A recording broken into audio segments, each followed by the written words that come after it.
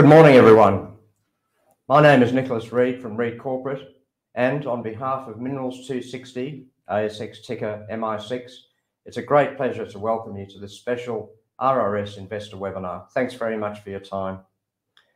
Well, we last featured Minerals 260 just before the company listed on the ASX in October last year, following a 30 million dollar IPO, which followed the spin-out of the non-lithium exploration assets of the leading lithium developer, Liontown Resources.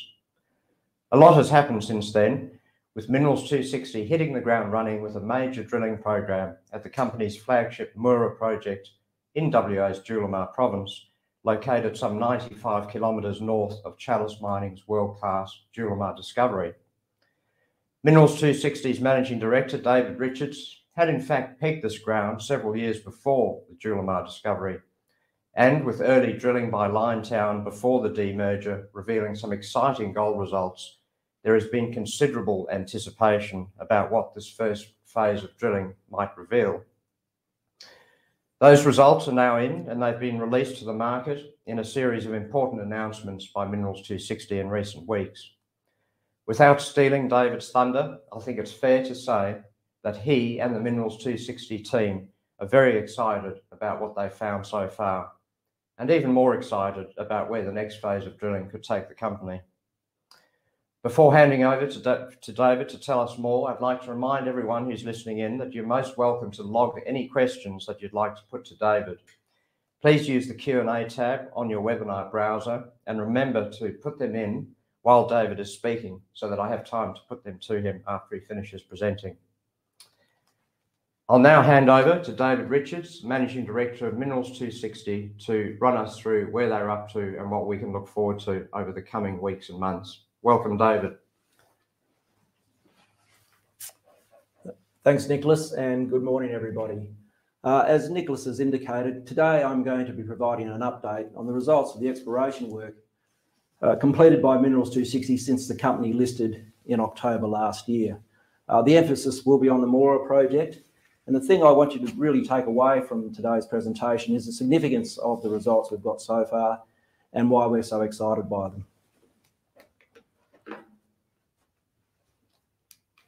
Uh, the standard disclaimer, which I won't dwell on, but as always, this presentation is available on our website, uh, and if you do want to study this page in more detail, then I suggest you go there later on. Uh, again, as indicated by Nicholas, Minerals 260 was formed Uh, to hold the non-lithium assets of Liontown Resources, which is now developing the world-class Kathleen Valley Lithium Project.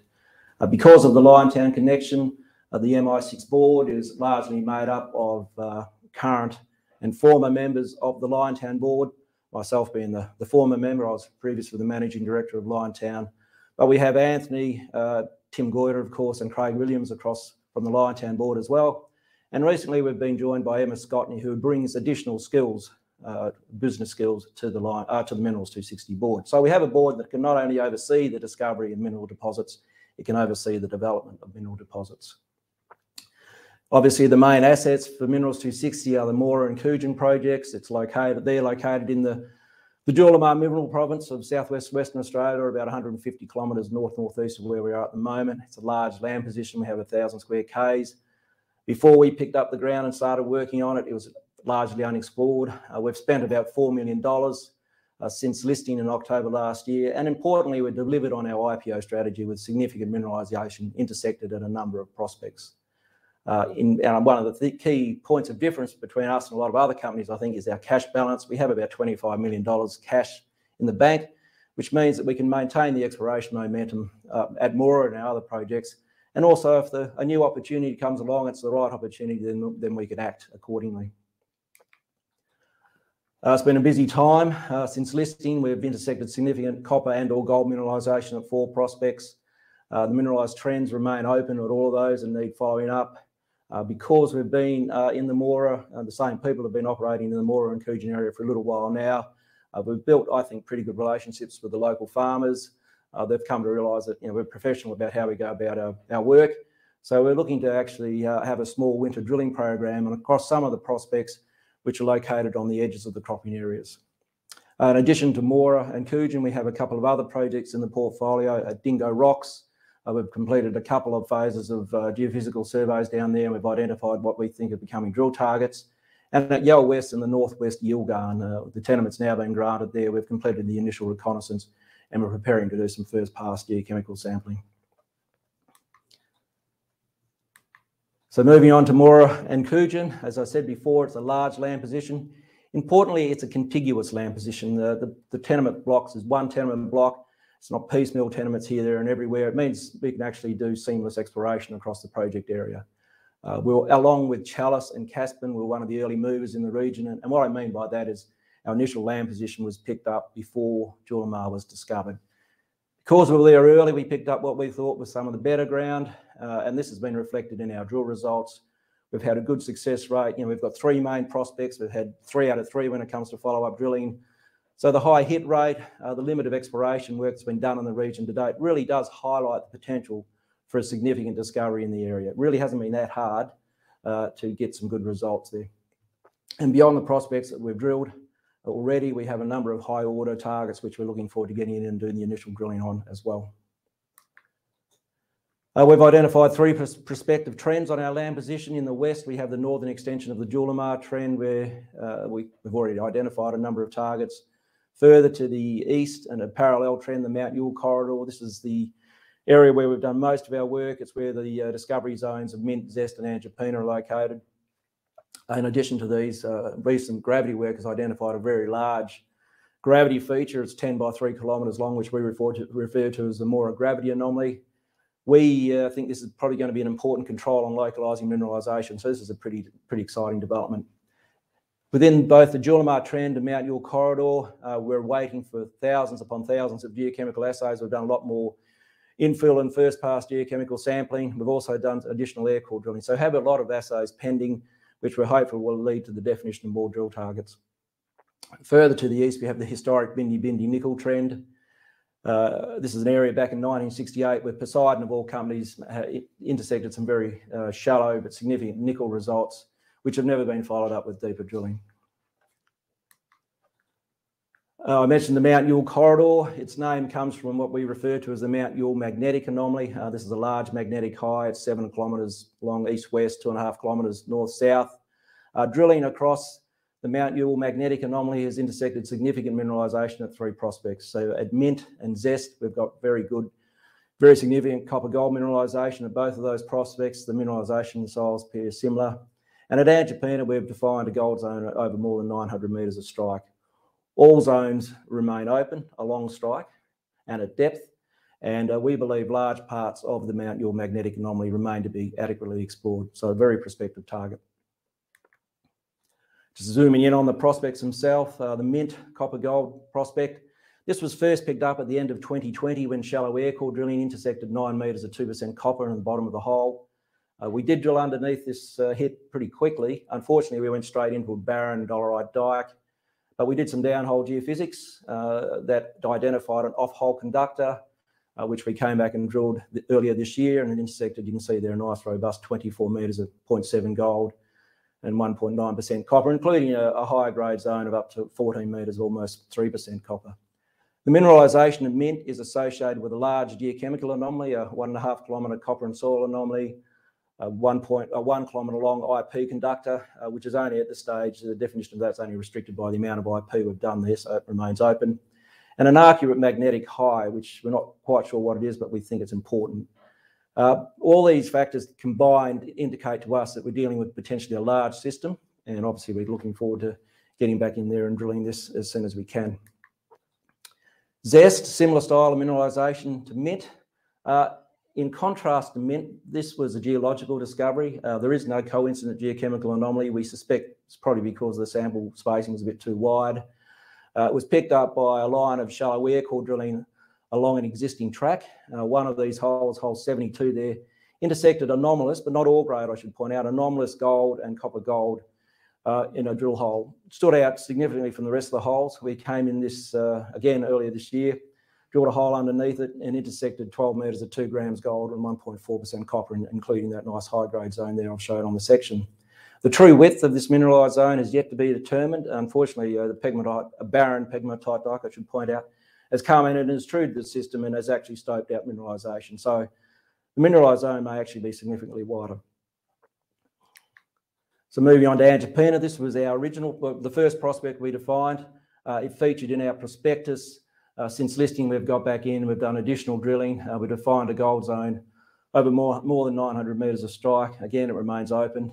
Um, we need to do more drilling here to get a better handle on the controls of mineralisation. So we're planning to do additional holes just to understand the trend and the orientation of mineralisation, after which we'll then do further follow-up.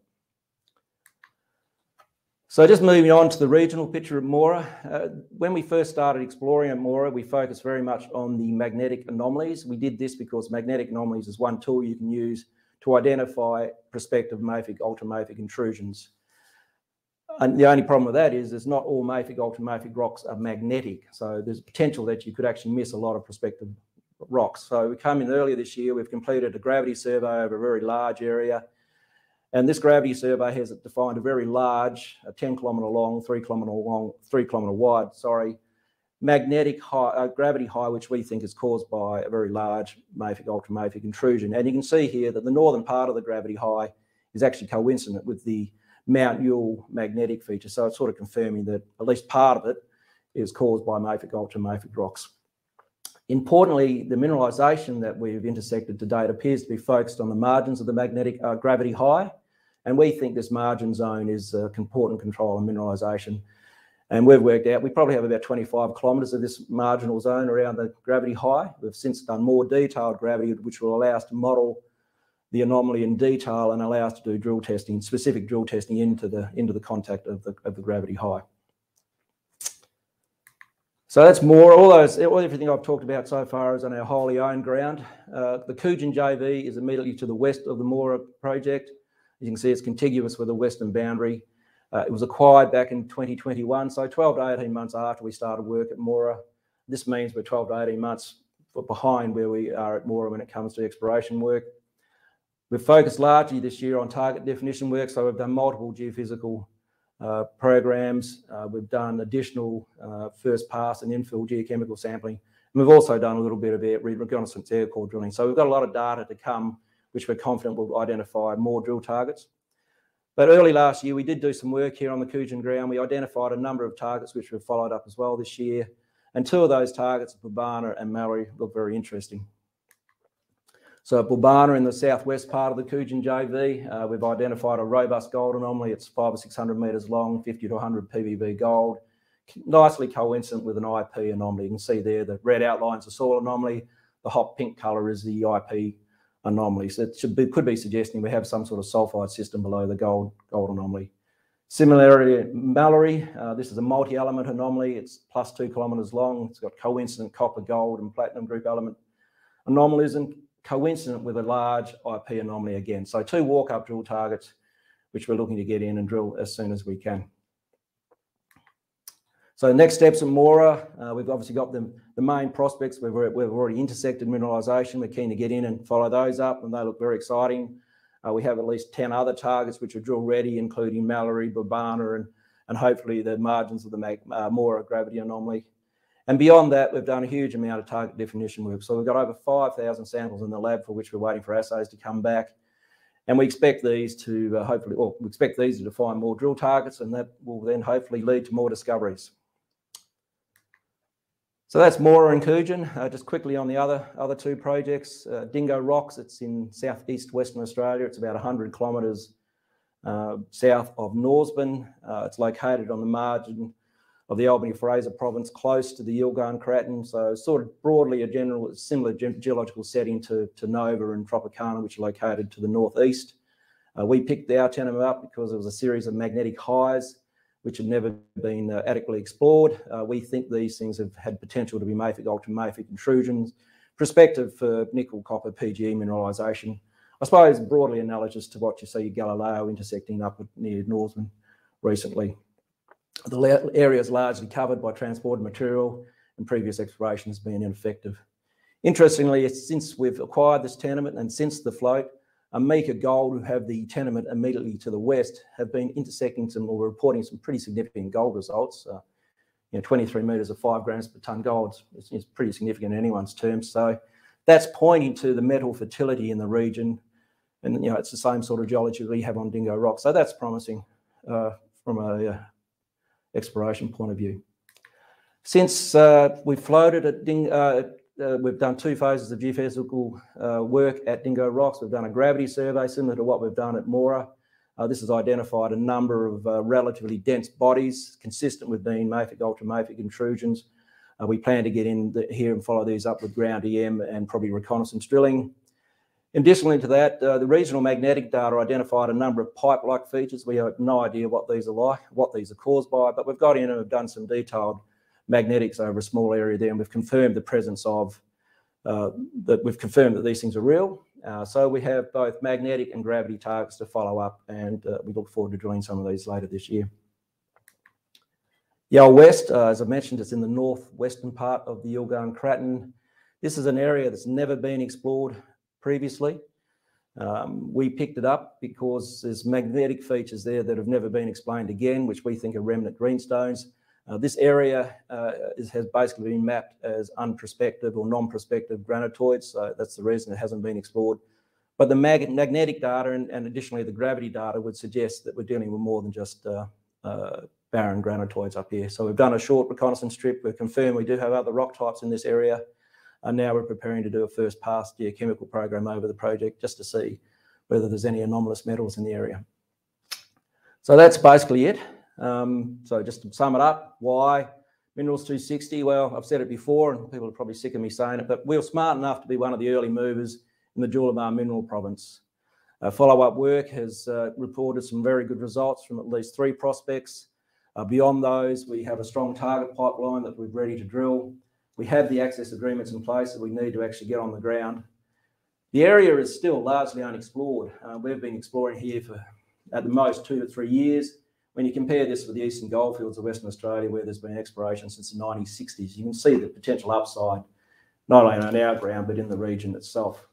We have a board and management team that know how to find them and importantly know how to mine them. So that's critical as well.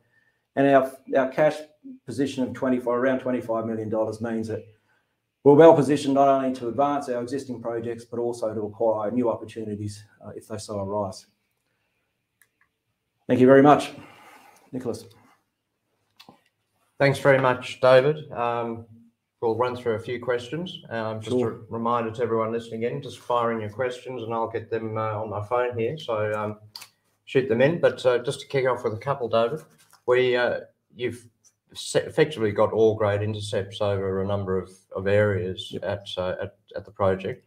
What's your strategy going to be with the next round of drilling? Will you be sort of aiming to look for resource potential in those areas, or are you still looking at the, the bigger picture, if you like? Uh, no, uh, we'll follow those up. So the next phase of work will just be to step out uh, long strike and down dip to see whether we do have a coherent, continuous zone of mineralisation and, and try to scope out the potential size of it. You know, how long, how thick is it? And then once we've got a handle on that, we, you know, you know, we'll to resource drilling as soon as we can. We're um, and uh, we've got the capacity to do both. So while we're advancing those prospects, we'll be also looking at the bigger picture as well. It just in terms of the style of mineralization that you found, you know, we think Julimar, we think Chalice, nickel mm. copper PGEs. We've obviously seen gold and copper gold yeah. today. Do you have an idea about what what we're dealing with? What sort of beast we're uh, dealing with here? Yeah, this is probably my least favourite question I get asked, Nicholas. Um, listen, I, I, we don't know. Um, it's a bottom, you know, bottom line. Um, I suspect we're looking at some sort of modified, structurally controlled Archean systems that have been you know been deformed and metamorphosed. But bottom line is we don't really know. Um, you know, the risk of being blasphemous to all the intellectual geologists out there. I don't really care. Um, I'll go where the mineralisation is, and if it's big enough and high grade enough to mine, I'll, I'll worry about what model it fits into later on. Yep, yep. And in terms of the uh, um, the timing of the program, David, can you give us a bit of a colour around? Uh, we're we're hoping to get a better feel for uh, the timing of, of uh, and how much drilling we're going to do over the uh, the winter period. We've certainly got okay from one farmer to get up there and do some drilling. We're, we're hoping to get the okay from another farmer to get up there. Again, when I talk about a winter drilling program, I'm not talking about drilling in the middle of crops in paddocks. I'm talking about drilling on the edges of existing cropping areas and doing it in such a way we don't impact on their on their pack, their activities. Uh, listen, we're hopeful within the next week or so we'll be in a position to actually put some detail around the amount of drilling we're going to do and, and where we're going to drill. But, Fantastic.